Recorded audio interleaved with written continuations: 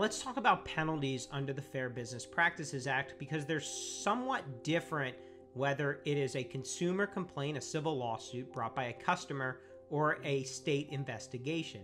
The state will penalize or attempt to penalize a dealer for each violation. Let's have an example.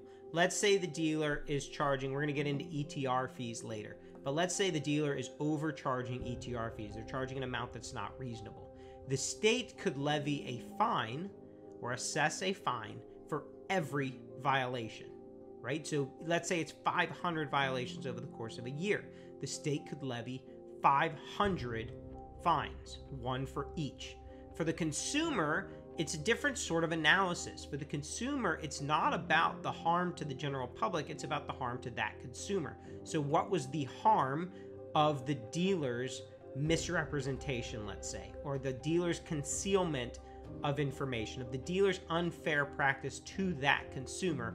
What is the harm? And that's an analysis that's case by case, and that's where you get into damage analysis in any lawsuit uh, or any demand, right? To, to actually analyze what are the damages for the Dealers Act. Now, what's interesting about the Fair Business Practices Act that's different than a lot of statutes is it includes a, tr- a, a an amount for tr- what we call treble damages in the event of an intentional act.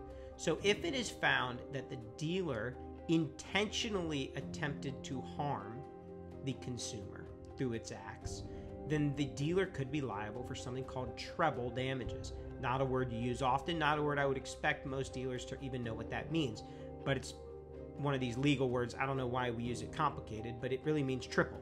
So, in the event there's a $10 damage, if it's trebled, it's $30 in damage. So, this is where the Fair Business Practices Act becomes a real thorn in the side for a lot of dealers because a dealer might sell an $8,000 uh, 2013 Accord with 120,000 miles on it perf- actually have a Fair Business Practices Act violation, commit some unfair business practice that harms the consumer.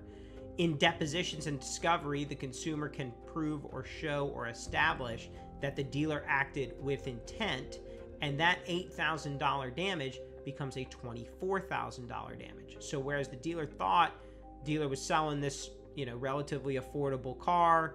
It's not worth all that much. We're not talking about a new Lamborghini. We're talking about a 2013 Accord with over 100,000 miles on it.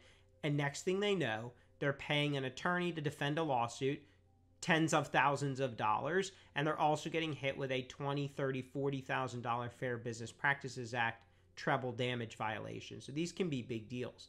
But that's where the damages come in in the Fair Business Practices Act. The Secretary of State has the ability to fine based on each violation, and the consumer sues for the actual damage incurred, potentially treble damages. They, there are also some other lines, attorney's fees, potentially punitive damages, other things, but the treble is specific to the Fair Business Practices Act.